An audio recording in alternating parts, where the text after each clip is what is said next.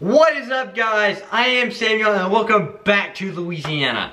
So today guys, I am very, very excited to say that we're going to be doing a video that I have wanted to film for a long time. We are going to be doing Spin the Mystery Wheel of Louisiana Challenges. So you've probably heard of the videos, uh, Spin the Mystery Wheel of Dares on YouTube, but we decided to take it up a little notch and all the challenges on our wheel are things that we do in Louisiana. So we have some pretty exciting things on that wheel. But hey, let's go get spinning. All right, so here we are. And if you notice, we didn't exactly have a spinner wheel, so we had to build one. So we got a 26 inch wheel bike tire, and we put that in a block of wood, got our plastic clicker, and we cut out a piece of plywood, and we wrote different challenges on it. So we have solve Rubik's Cube, ride a zip line five times, catch a goat, do donuts in the lawnmower, go chicken chasing, tractor push-ups, spin again, catch a baby alligator, solve Rubik's Cube, and that's, that's what we have on it. So we have eight different categories, and it is now time for me to spin my wheel and see what I get. So let's spin our very Louisiana wheel.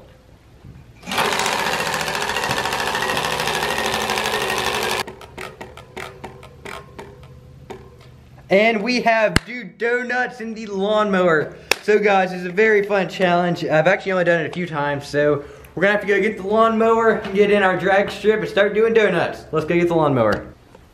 All right guys, here we are in Louisiana with our lawnmower. This is the Kubota ZD1211. Uh, it is a rear engine diesel with 25 horsepower, and we are about to do some donuts on our skid pad.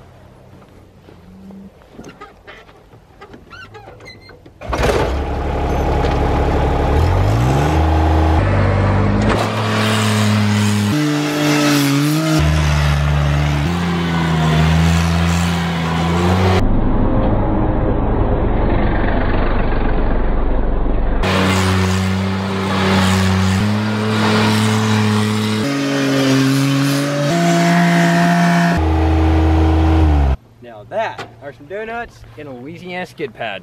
Now, in case you didn't know, the one reason they're called donuts is if you look, you can see your donut with your hole in the middle. So those are our Louisiana donuts and Big Red, do you approve.